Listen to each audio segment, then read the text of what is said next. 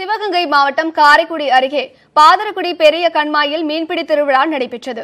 கிராமத்திற்கு சொந்தமான கண்மாயில் நீர் ஆதாரம் குறைந்துள்ள காலங்களில் குத்தகை காலத்திற்கு பின்பு அதில் உள்ள மீன்களை கிராம மக்கள் பிடித்துக் கொள்ளும் நிகழ்வு மீன்பிடி திருவிழா எனவும் அழைக்கப்படுகிறது.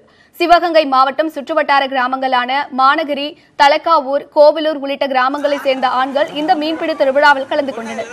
இதில் போட்டி போட்டுக்கொண்டு கெண்டை குரவை கெளுத்தி மீன்களை பிடித்தனர். பாரம்பரியத்தை நினைவுபடுத்தும் இதுபோன்ற திருவிழாக்களை சுற்றுவட்டார கிராமத்தினரும் நடத்த முன்வர வேண்டும் என அந்த பகுதி மக்கள் கோரிக்கை விடுத்தனர்.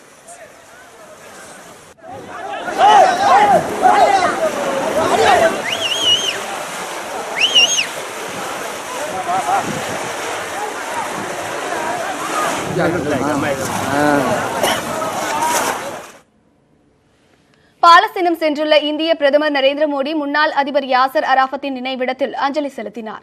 அரசு முறை பயணமாக பாலஸ்தீனம் ஓமன் ஐக்கிய அரபு நாடுகளில் பிரதமர் நரேந்திர மோடி சுற்றுப்பயணம் மேற்கொண்டுள்ளார்.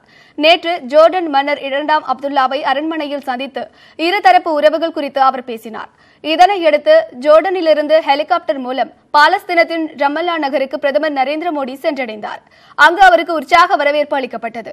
இதனையடுத்து பாலஸ்தீன முன்னாள் அதிபர் யாசர் அராஃபத்தின் நினைவிடத்தில் அஞ்சலி செலுத்தினார். அப்போது அந்நாட்டு ராணுவ வீரர்கள் அளித்த மரியாதையை பிரதமர் நரேந்திர மோடி ஏற்றுக்கொண்டார். இந்த பயணத்தின் போது பாலஸ்தீன அதிபர் முகமது அப்பாஸை சந்தித்து இருதரப்பு உறவுகள் மற்றும் ஒத்துழைப்பு உள்ளிட்ட பல்வேறு அம்சங்கள் குறித்து பிரதமர் நரேந்திர மோடி ஆலோசனை நடத்தவுள்ளார்.